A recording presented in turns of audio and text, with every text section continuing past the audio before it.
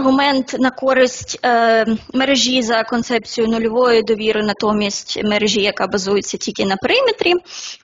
Е, при впровадженні цієї наскрізної структури Zero Trust для захисту вашої мережі, е, в першу чергу краще зосередитись на таких початкових цілях розгортання це е, сегментація мережі. Чим більше мікропериметрів, тим краще. Хмарна фільтрація, захист від відомих загроз, якщо це можливо в рамках вашої інфраструктури, шифрування.